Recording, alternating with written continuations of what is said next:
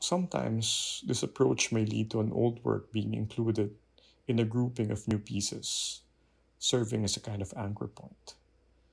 But in the case of this show, it turned out to be a fully realized, somewhat interactive timeline. The timeline here begins in 2003, when I first showed my small collages at Green Papaya. But I actually started working on them four years before in 1999. By the time I had the show, I've already made more than 400 pieces. And back then, I couldn't afford any kind of framing, so we just decided to use sticky tack and just lay them out directly on the wall. This work is from the show Stray Bullets, held at Finale Art File in Megamall in 2004. The following year, I co founded Future Prospects Art Space with some friends. To help cover the rent, we held a fundraising artwork raffle, and I donated this work for that event. Some years pass, and I become part of Silverlens. Um, one day, from a casual conversation, I learned that it was our gallery director, Isa Lorenzo, who actually won the piece. The other interesting story is that of construction of self a work that I made during a residency in Bangkok in 2009. The main idea for this is to use words originally written to describe another person's practice to somehow speak about my own. In essence, I made the collage out of the text instead of the pictures. Later, I had a chance to show the work here, this time as part of a larger installation for the show I Missed the 20th Century at the now closed Manila Contemporary. When the show ended, I remember Sid Perez personally carrying the work and handing it back to me, as it was unframed and somewhat fragile. I then placed it inside a book so I could safely bring it home. Sadly, this is my last memory of the work, and I haven't seen it again since. I've gone through all the books in our shelf, but to no avail. So I think the work is essentially lost, and all I have left is a scanned file. For the next couple of years, I divided my time between working on one or two art projects a year and working on my collages during my free time, while also keeping a full time day job, helping to run a fabrication studio.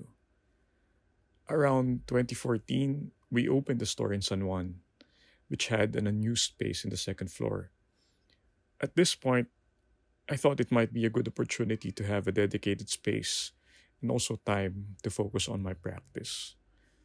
And so, with the support of Silverlens, I utilized the space as my studio, and it became a somewhat impromptu half a year long residency. Looking back, I believe this served as my gateway into practicing art full time. I started the Collage Day Everyday project in 2017, the day after I turned 40. I was already thinking about doing something like this for a while, as I wanted to gather all my collage related impulses into a single, sustainable, and long term project. Around this time, my eldest daughter also entered preschool and my wife went back to work full time. So I really had to find something that I can do at home in our living room, something small enough that I can finish before our daughter wakes up and takes over the space. So this became a way for me to still be able to work and feel productive despite being mostly at home. I remember it was Valentine's Day last year when my show Erstwhile Maps opened at the K Space Gallery in Bangkok. It was something that our dear friend, um, curator Art Fong Smoot, helped set up with the former colleague that runs the space. It was a fun night.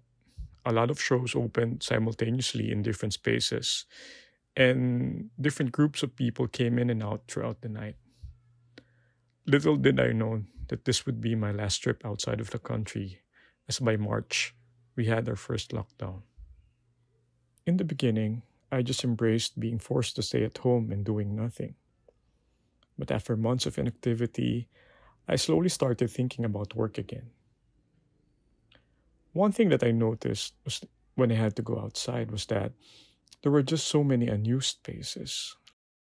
Somehow, this led to me being offered to use Calle Wright while the programming is still on hold.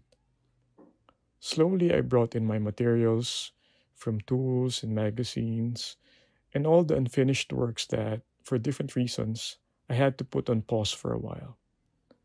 My goal was to go through all the unfinished works and use up all the materials so I won't have to bring a lot back home when this all ends and Calle Wright can finally open again. The works for my current show, Things That Came to Light, were all made during this time.